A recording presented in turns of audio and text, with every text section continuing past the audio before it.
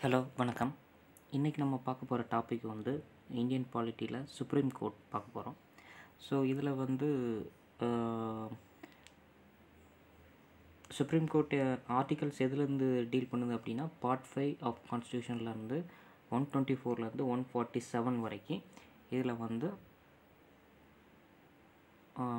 Supreme court பற்றின details வந்து இருக்குது ஸோ இதில்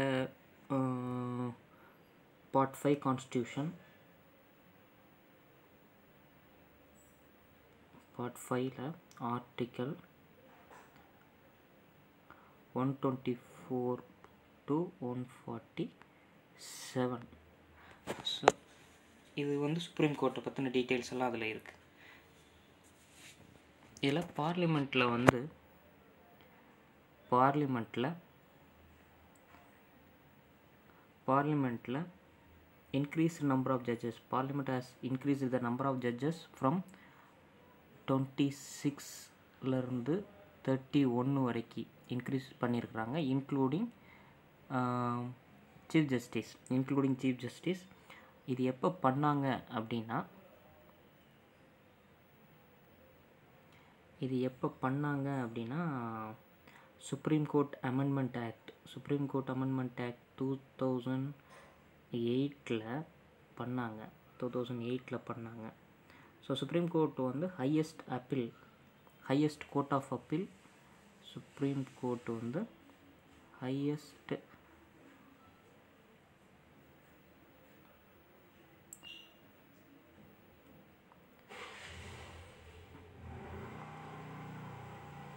highest court of appeal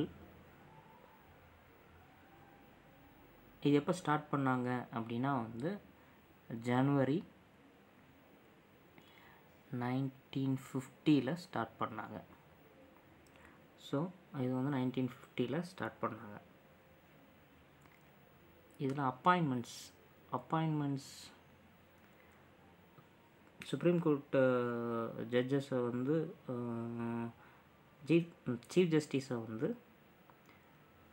supreme court chief ஜஸ்டிஸை வந்து யார் அப்பாயின்மெண்ட் பண்ணுவாங்க அப்படின்னா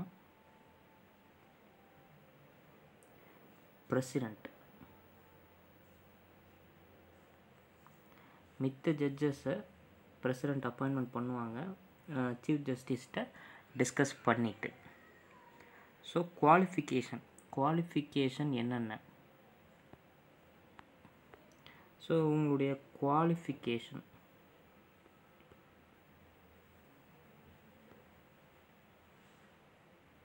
குவாலிஃபிகேஷன் வந்து ஹைகோர்ட்டில் ஜட்ஜாக அஞ்சு வருஷம் இருந்திருக்கணும். அல்லது அட்வொகேட்டாக பத்து வருஷம் இருந்திருக்கணும் இதில் மினிமம் ஏஜ் வந்து மென்ஷன் பண்ணல. கான்ஸ்டியூஷனில் கான்ஸ்டியூஷனில் மினிமம் ஏஜ் இவ்வளோ தான் இவ்வளோ இதில் தான் வந்து இதாகணும் அப்படின்றத மென்ஷன் பண்ணலை.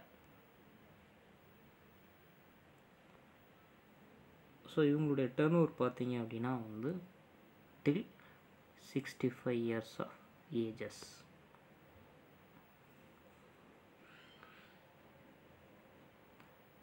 அப்புறம் ரிமூவல் ஆஃப் ஜட்ஜஸ் எந்தெந்த இதில் அவங்கள வந்து ரிமூவ் பண்ணலாம்?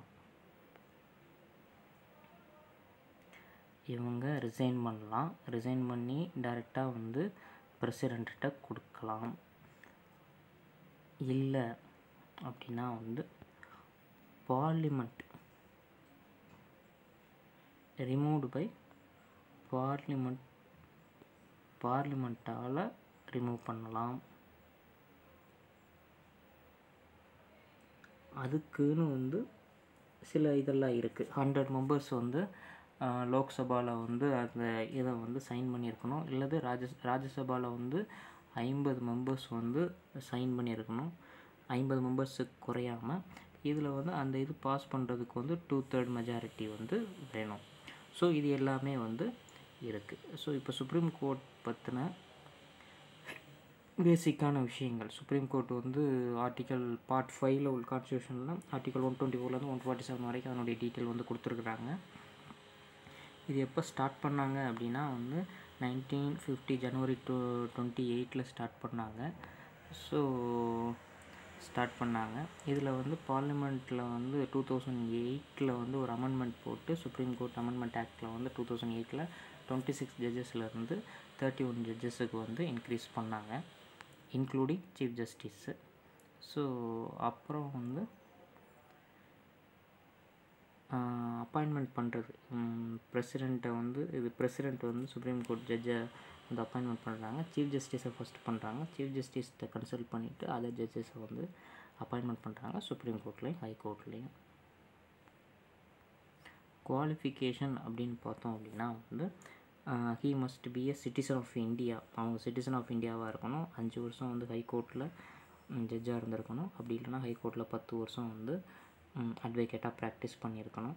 அவங்களுக்கு மினிமம் ஏஜெல்லாம் வந்து கான்ஸ்டியூஷனில் மென்ஷன் பண்ணல. டெனோர் பீரியட் பார்த்திங்க அப்படின்னா till sixty five years of age வரைக்கும் அவங்க இருக்கலாம். ஸோ ரிமூவல் ஆஃப் ஜட்ஜஸ் வந்து பார்த்தோம் அப்படின்னா வந்து uh, அவங்க ரெசிக்னேஷன் பண்ணலாம்.